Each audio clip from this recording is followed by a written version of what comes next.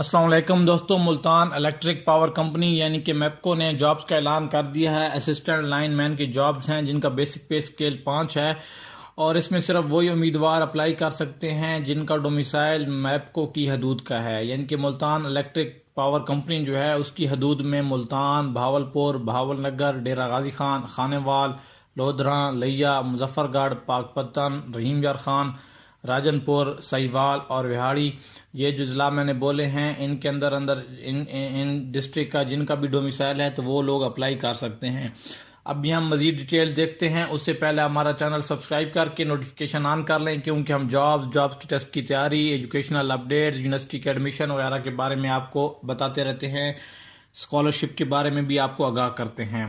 تو دوستو، سب سے پہلے جیسے کہ میں نے آپ کو بتا دیا ہے اسسٹنٹ لائن مین کی جابز ہیں، ان کا بیسک پے سکیل پانچ ہے اور اسامیوں کی تعداد کی بات کریں تو اس میں جو ہے اوپن میرٹ پہ وہ چھ سو تیرہ ہے۔ چھ سو تیرہ اوپن میرٹ کی سیٹس ہیں، جن میں ملتان کے لیے بائیس خانے وال کے لیے پچیس، سہیوال کے لیے ایٹی نائن یعنی کہ نواسی رحیم یار خان کے لیے ایک سو نوے ڈی خان کے لیے اکیس، وہاڑی کے لیے ستائیس بہاول نگر کے لیے ایک سو ستر اور بہاول سوری بہاول پور کے لیے ایک سو ستر اور بہاول نگر کے لیے سکسٹی نائن یعنی کہ انہتر.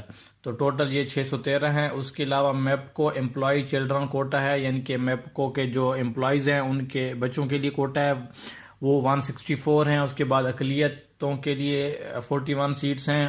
تو یہ ٹوٹل آٹھ سو اٹھارہ سیٹس بنتی ہیں.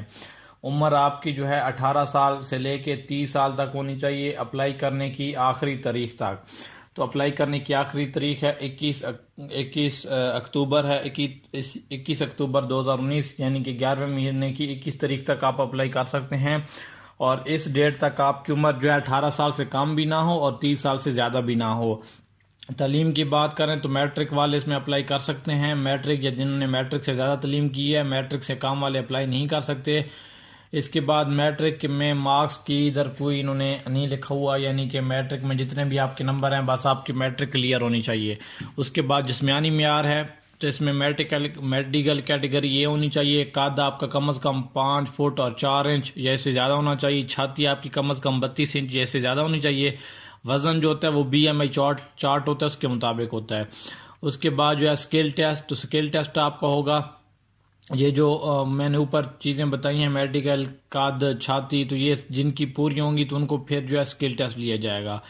جو اسکل ٹیسٹ ہے وہ میٹرک لیول کا ہوگا، اس کے بعد جو اسکل ٹیسٹ پاس کریں گے، ان کو فزیکل ٹیسٹ کے لیے بلایا جائے گا۔ تو فزیکل ٹیسٹ میں جو ہے دوڑ ہوگی آٹھ سو میٹر پانچ منٹ میں پوش اپ یا ڈنڈ جنہیں ہم بولتے ہیں، وہ ہوں گے تین منٹوں میں بیس۔ اس کے بعد ویٹ لفٹنگ تیس کلو گرام آپ نے ویٹ اٹھانا ہوگا، اس کے بعد کھدائی ایک گھڑا، جس کی لمبائی، گہرائی، چوڑائی دو ضرب دو ضرب دو یعنی کہ آپ نے ایک جو ہے گھڑا کھودنا ہوگا، دو فٹ جو ہے چوڑا، دو فٹ لمبا اور دو فٹ جو ہے وہ گہرا۔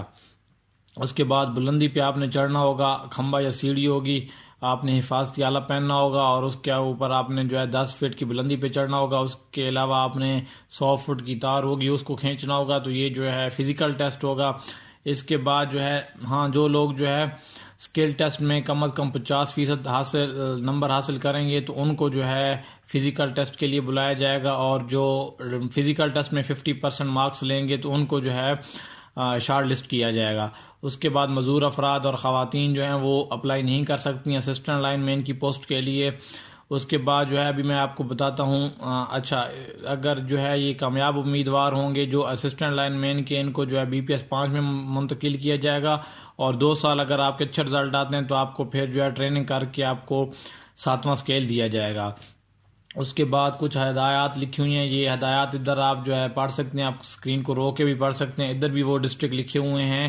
ملتان بھاول پور باول نگر ڈیرا غازی خان خانے وال لودھرا لیا مظفر گڑھ پاک فتح رحیم یار خان راجن پور سہیوال اور وہاڑی جن جن کے لوگ ادھر اپلائی کر سکتے ہیں۔ اس کے علاوہ ادھر کچھ ہدایات جو ہیں، یہ آپ نے پڑھ لی ہوگی۔ مزید بھی آپ اس کو روک کے بھی پڑھ سکتے ہیں۔ اس کے بعد ابھی میں درخواست دینے کا طریقہ کار آپ کو بتاتا ہوں۔ تو آپ نے اس طرح کرنا ہے، آپ نے ویب سائٹ پہ جانا ہے N dot O R G dot P K پی کے اس ویڈیو کی ڈسکرپشن میں بھی اس کا لنک موجود ہے۔ تو آپ اس ویب سائٹ پہ جائیں گے۔ اس ویب سائٹ پہ آپ نے جا کے آن لائن اپلائی کرنا ہے۔ آن لائن اپلائی کرنے کے بعد آپ کو جو ہے فارم وہ آپ نے ڈاؤن لوڈ کر لینا ہے۔ جو آپ فارم فل کریں گے آن لائن وہ آپ نے ڈاؤن لوڈ کرنا ہے۔ ادھر ڈاؤن لوڈ کا آپشن ہوگا۔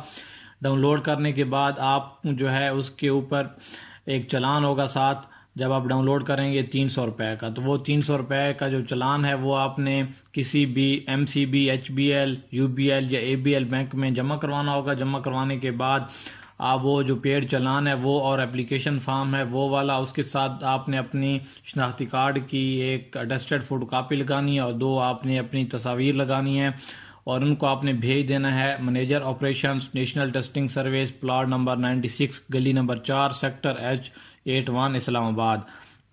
تو یہ جو ہے اکیس اکتوبر لاسٹ ڈیٹ ہے تو اکیس اکتوبر تک آپ کی اپلیکیشن پہنچ جانی چاہیے۔ اس کے بعد آپ نے ابھی کچھ ڈاکومنٹس باقی ساتھ نہیں بھیجنے، صرف جو ہے شناختی کارڈ کی فوٹو کاپی اٹیسٹڈ اور دو عدد پاسپورٹ سائز فوٹوگراف بھیجنے ہیں۔